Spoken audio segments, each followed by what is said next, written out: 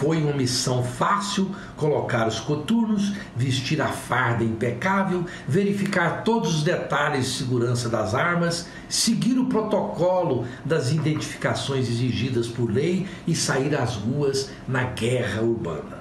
O banditismo, cada vez mais ousado e com arsenal de causar espanto, é ardiloso, covarde, não precisa seguir a lei e reage matando sem piedade. Como se não bastasse essa cruel realidade, ainda nos surge no caminho para tornar a vida dos policiais civis e militares mais difícil ainda, um inimigo invisível que não pode ser combatido com arma alguma.